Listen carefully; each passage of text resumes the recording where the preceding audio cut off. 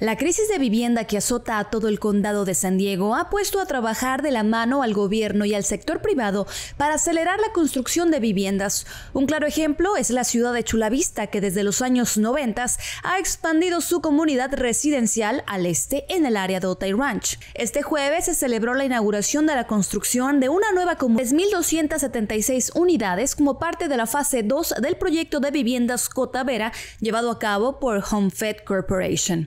Going about a mile to the west, we've already developed nearly 4,000 homes. Going to the east, we have another five to 6,000 homes to go. So we're right in the middle of our project. This will produce another 3,200 homes.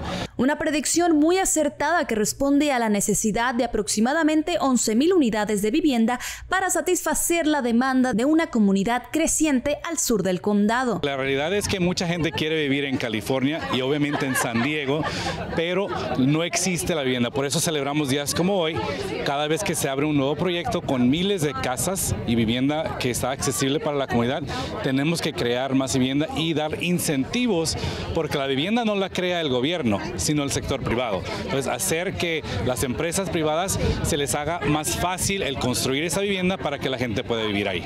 Esta nueva comunidad está ubicada a 15 millas del centro de San Diego y promete ser una de las comunidades planificadas más grandes del país. Parte de las más de 3.000 nuevas unidades se destinará el 10% al sector de la vivienda asequible.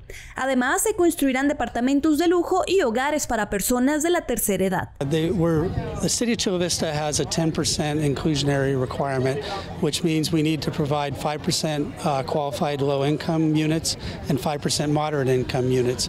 Uh, we've already produced our first project of nearly 200 units, which is open in the first phase of Codavera, and the second project is being planned right now, which will be roughly another 200 units. Este complejo residencial promete brindar costos accesibles al mercado para ayudar a más residentes a poder comprar una vivienda. It will allow people to have home ownership.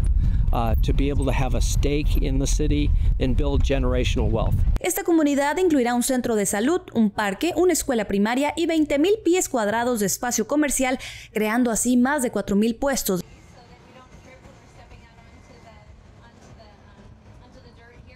de las unidades el próximo año.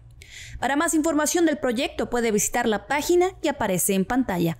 Para KSDY Noticias, reportó Maciel Chaidez.